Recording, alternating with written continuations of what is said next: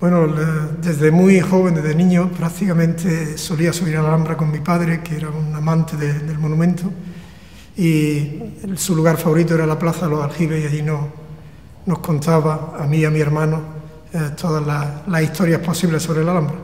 Y de esa época pues se despertó una, una ganas de conocer y de aprender sobre la Alhambra, y pasé además toda mi juventud eh, en la Alhambra también, durante la época de estudio, aprovechando cada ratito para subir a la Alhambra, porque la Alhambra era como un, un, mundo diferente al que vivimos en la ciudad de Granada, que era muy conservador, una ciudad un poco oscura y, y triste, mientras que allí arriba a la Alhambra venía gente de todo el mundo con mentalidades diferentes, aprendía uno, veía la libertad que no la conocíamos en la ciudad y bueno, era apasionante estar allí con aprender los idiomas directamente con la gente, intercambiar opiniones.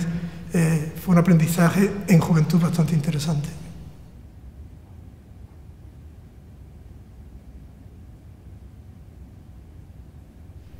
Eh, como digo, yo pasé la juventud allí en la Alhambra y siempre me atrajo mucho la labor que hacían los guías de aquella época, que eran gente muy preparada y con un gran nivel. Y yo desde muy joven decidí que quería ser eh, técnico en turismo, que era el nombre de la carrera en aquella época, y poder trabajar de guía.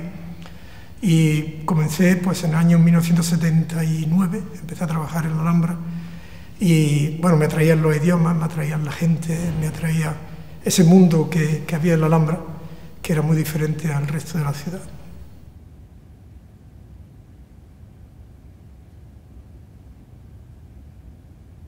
Pues sin lugar a dudas la zona más oculta y más desconocida.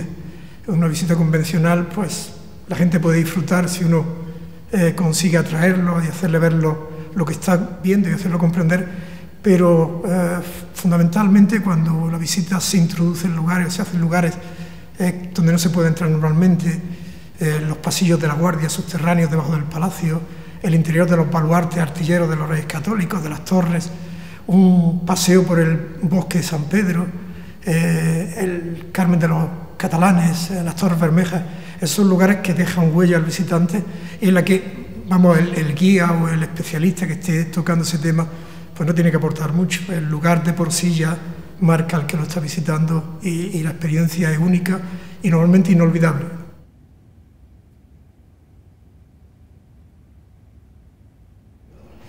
Pues eso es lo más difícil. ¿no? Eh, creo que una de las características fundamentales del investigador tiene que ser la perseverancia. Y eso es muy difícil de conseguir cuando uno trabaja además mañana y tarde eh, con visitas normales de turistas que le ocupan a uno bastante tiempo y con el cansancio y con, con la familia, pues uno tiene que seguir investigando constantemente sin dejarlo en ningún momento, porque si no se pierde uno en ello.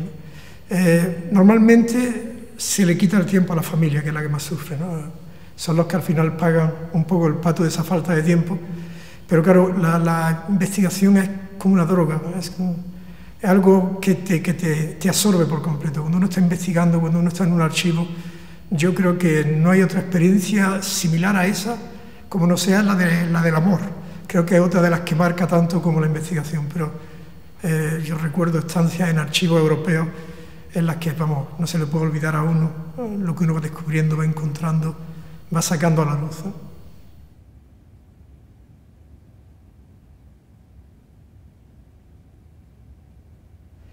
Bueno, quizás el libro es un libro de base completamente archivística, eh, sobre todo del archivo de Simancas, que es donde consigo la mayor parte de, datos, pero además de eso, además de esa base archivística que es fundamental, eh, yo tengo una ventaja con respecto a la, mayor parte de escritores, y es que yo paso el día en el monumento. Tengo la suerte de que además trabajo ahí y lo paso el día eh, desde por la mañana hasta por la, por noche prácticamente. Entonces todo lo que yo voy descubriendo en el archivo lo voy ratificando con mi visión constante del monumento. Aquello que yo he comprendido de una forma, intento ver si es realidad cuando paso por ese lugar. y claro, a mí me ha servido mucho una una experiencia de archivo, pero ratificada por la visión diaria del monumento.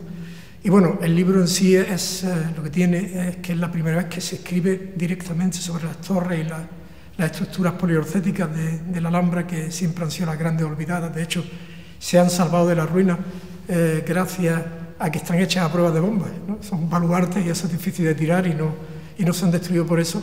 Pero eh, además de, lo poco que yo podido aportar, lo interesante es que abro el camino para que ese tema se trate y que los monumentos, esa parte del monumento que está un poquito dejada a la mano de Dios porque nunca pasan los visitantes y nunca lo ven y por lo tanto no tiene una necesidad urgente de ser restaurado, pues que en algún momento se le tome en serio ya no solo la restauración, sino la investigación. La idea es que mi libro en pocos años se quede obsoleto y que lleguen nuevos investigadores y aporten nuevos datos y se puedan unir nuevas ideas que pueden ser muy interesantes. Intentar recoger el testigo. Maravilloso.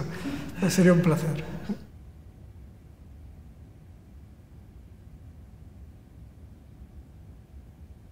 Fue bastante extensa e intensa porque no es el trabajo de un libro simplemente por hacer un libro eh, yo cuando voy al archivo de Simán, me paso allí un par de meses, uno va acaparando datos y si uno sabe organizar esos datos después en su casa, pues va contando con bases para empezar a hacer trabajo.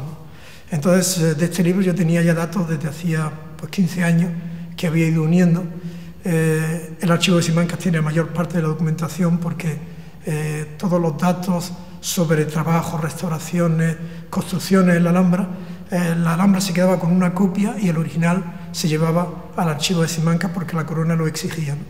entonces, desde el año 1545, en que Felipe II crea la Real Junta de Obras y Bosques, que es el organismo dedicado en exclusiva al control del patrimonio real y de los monumentos pertenecientes a la corona, pues toda la documentación está allí perfectamente organizada y se consiguen datos maravillosos. Luego de la época en, que ya no funciona la Real Junta de Obras y Bosques, funciona en 1545 a 1764, eh, el resto, la Alhambra aporta muchos datos. Y también en otras investigaciones que yo había hecho, había conseguido ya documentación fundamentalmente de la época de la Reconquista. Yo conseguí la documentación completa de todas las obras que hicieron los reyes católicos desde el 2 de enero de 1492 hasta el 5 de agosto de 1500. Y que eso fue una base ya para empezar a ver cómo se habían ido construyendo todos los baluartes, porque ese es el momento en que se transforman las las estructuras poliorcéticas de la Alhambra y se adaptan a la guerra de, la, artillería que hasta ese momento pues, no había tenido mucha importancia. Pero bueno, el archivo de la Alhambra tiene también unos datos curiosísimos porque lo que más se conserva en la Alhambra son datos relacionados con justicia.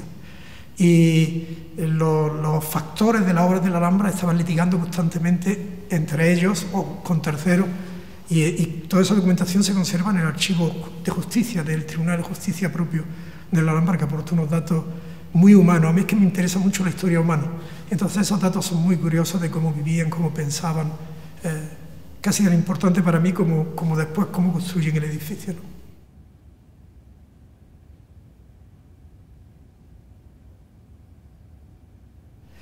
Bueno, yo hice mi tesis doctoral en los Países Bajos y fue una, una tesis doctoral muy, muy amplia y de un largo periodo de duración. Duró casi 10 años la confección de la, de la tesis. Yo había descubierto unos pequeños pueblos en el centro de Alemania eh, que habían sido parte de la corona española durante 213 años y que por culpa de la ocupación prusiana posterior de esos lugares, pues prácticamente se había olvidado esa parte de la historia y los mismos habitantes casi no la conocían. Y por eso digo, fueron unos 10 años apasionantes luchando codo a codo con los mismos habitantes de esos lugares para recuperar 213 años de historia española y fue muy interesante. Eso me ha marcado mucho y sobre ese tema he investigado mucho, he publicado abundantemente eh, los Países Bajos eh, en general, Alemania, el Sacro Imperio y luego por la figura del emperador Carlos V, sobre la que escribí una, biografía hará un año y medio, un poquito antes del libro este salió la biografía y bueno, ha sido un éxito editorial bastante grande y ha llegado a estar pues eh, tercera en la lista de em, ventas de, aquí de España, quinta en Estados Unidos decir, un libro que, que, porque ha variado, es lo que te decía antes, ha variado un poco la forma de, de concebir la historia.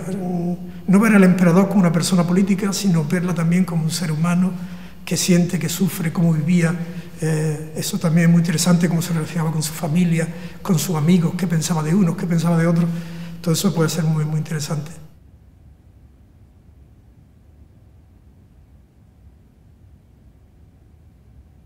Bueno, pues eh, ahora en poco, espero que, en un mes lo más, saldrá un nuevo libro a petición de la Alhambra, hecho con el patronato de la Alhambra, sobre la dóbula de oro que se está intentando promocionar.